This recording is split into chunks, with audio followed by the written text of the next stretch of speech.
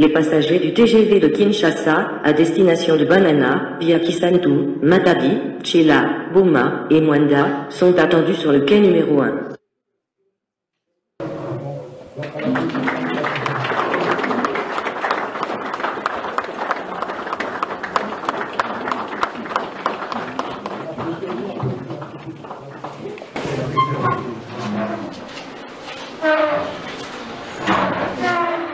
C'est un projet que nous avons commencé depuis belle lurette avec les amis des TCC, de SCTP aussi. Euh, aujourd'hui, les études sont terminées, nous les avons reçues euh, en présence de la ministre d'État, ministre euh, du portefeuille.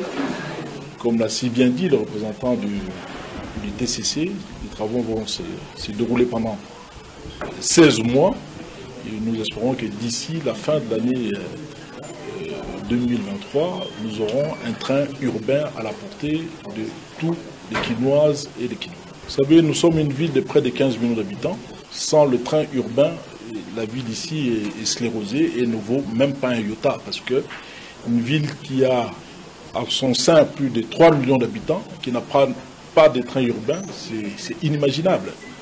Euh, la ville de Kinshasa, lors de l'accession du pays à l'indépendance, la ville compte à peine 400 000 habitants. À cette époque, nous avions un train qui desservait presque toute la ville. Aujourd'hui, avec 15 millions, nous n'avons pas de train urbain.